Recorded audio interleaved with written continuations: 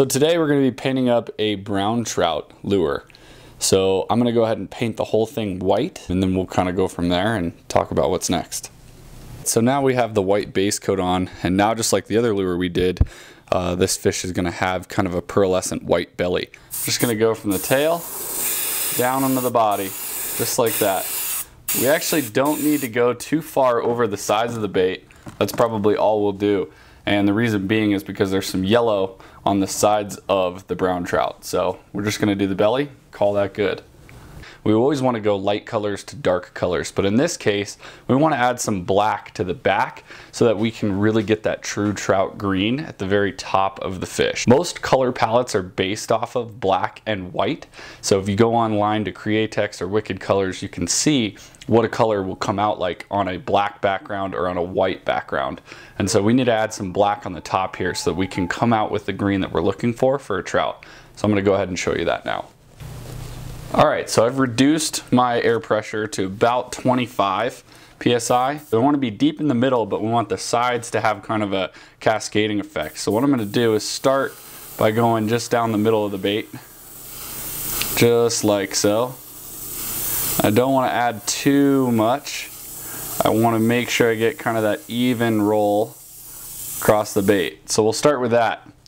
We'll progressively darken up the middle of the bait. Not too dark, kind of like a, a grayish color. And just deepen up right around the eye and the snout there of the bait. That should be plenty. So what the next step is going to be is adding the yellow to the bait. The brown trout has kind of that characteristic yellow that runs from tip to tail right along the underside, especially in more mature fish. Um, we want to kind of enhance those colors on our bait anyway, even though maybe a smaller brown may not have that. Uh, it will help the fish in the water see those colors and they really react to that. Down to about 10 psi on this color. And this is a transparent yellow, so we're gonna just kind of make it nice and light on the bait. You'll see it start to pop, but we don't want a ton on there. We do want to get up to the gray where it just becomes a little bit more yellow. Then we can focus on the bottom being a deeper, brighter yellow. Just kind of like that. So we have some yellow up here, but the bottom is the deepest and the brightest. Don't want to go too dark on that. Um, I would say that's probably about good right there. And we are using this detailed burnt orange that we used in the pike video. Um, great color. This is one that I would say you have to have. Now what we're gonna do is we're gonna add this to the side of the bait and give the brown trout his name. So um, most of this is gonna be just above that yellow line and into the black on the top. And we're just gonna kind of fade down from the black that we painted. Just going right into the top of that bait. You'll see the brown start to come out. That's what we're looking for right there. Not very far down and just enough. It's kind of like an orangish color. That's okay. That's kind of what we want it to look like right now. Do the same thing to the other side. All right, so once you have your bait kind of looking like Germany here, we are going to actually add some fluorescent yellow to the game. So this color, um, this is kind of the aha moment. We're gonna run this over the top black that we just did um, at the beginning of the video and this is going to turn that green color that you usually see on a trout. So this is really going to kind of bring in the darker colors, deeper colors of the trout, turn it the right kind of off green color and then once we add the spots on the side it will uh, really start coming to life. So let's go ahead and add that back. Important we don't spray too much. As soon as you spray too much, then you end up having issues um, as far as the color getting too light. Brown trout's got mostly dark spots on the top of it, and then as it goes down the sides, those spots kind of are, are dark or red, but they have a white ring around them. So we're gonna go ahead and do the top spots first. So all I've done is taken black and a paper clip, and I'm just gonna kind of beat it on the back. So I'll show you that now. Kind of lightly speckle it add some dots on there. Bigger dots, smaller dots. This part doesn't have to be perfect.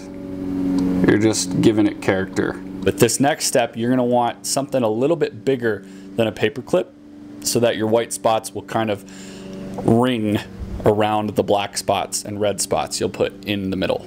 We'll go ahead and add some dots.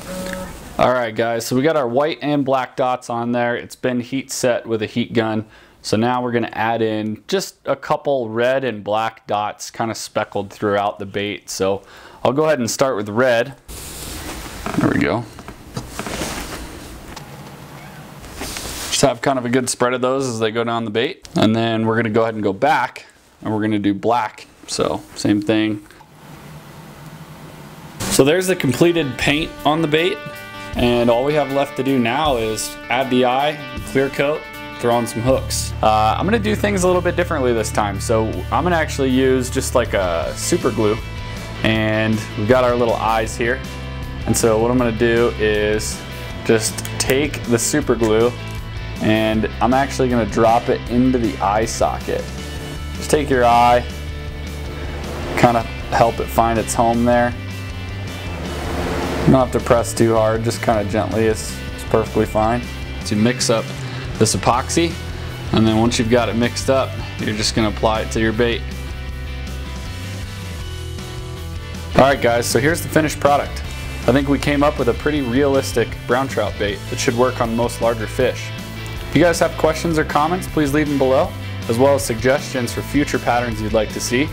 And as always, if you like the video, please don't forget to subscribe before you leave. Thanks for watching CO Fish Pro today. If you can do me one favor before you leave and click this subscribe button right here, and then you can move on to this video right here. Welcome to CO Fish Pro, the channel. My name is Chris Edlin, and we aim to take the mystery out of fishing. Or that one over there. Yes. Slab.